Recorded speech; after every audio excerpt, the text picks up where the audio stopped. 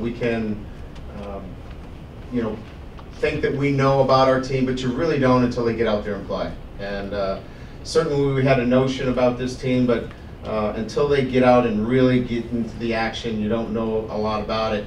Uh, and we, we got a chance to find out a little bit about our football team today, and we won. Hi, I'm Mary Green. And I'm Rich Heidi, and we're the producers and co-hosts of the new NDTV sports show, Irish Insights Live. Irish Insights Live is going to be broken down into two segments. The first is an interview with Notre Dame athletes, coaches, and other members of the Irish athletic community.